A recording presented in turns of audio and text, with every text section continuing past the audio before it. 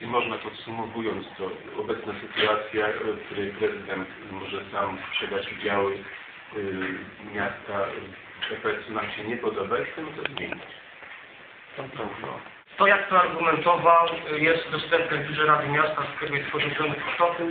Ogólnie mówiąc e, przedstawił dotychczasowe działania miasta w tej sprawie i powiedział, że najlepszym rozwiązaniem dla miasta jest sprzedaż EPS-u Tenet. To jest zaprotokołowane.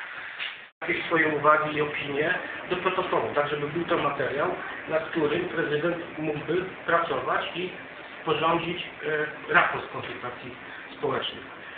Dlatego też stawiamy pytanie, w jakiej formie i na jakiej podstawie zostanie przedstawione opinii, e, opinii publicznej sprawozdanie z odbytych e, spotkań publicznych z mieszkańcami, bo nazywamy to spotkaniami publicznymi z mieszkańcami, a nie konsultacjami społecznymi.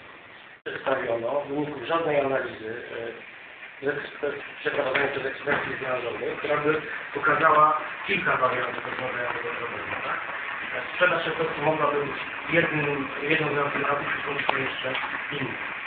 E, nie pokazano również, nie zaprezentowano o, mieszkańcom miasta żadnych wyliczeń, symulacji, jak sprzedaż efektu wpłynie na, e, na mm, ceny energii cieplnej. Nie przedstawiono bilansu energetycznego miasta, e, nie przedstawiono jakichś projekcji, przewidywań, jak, e, jak, jak, jakie będzie zapotrzebowanie miasta w najbliższych, latach.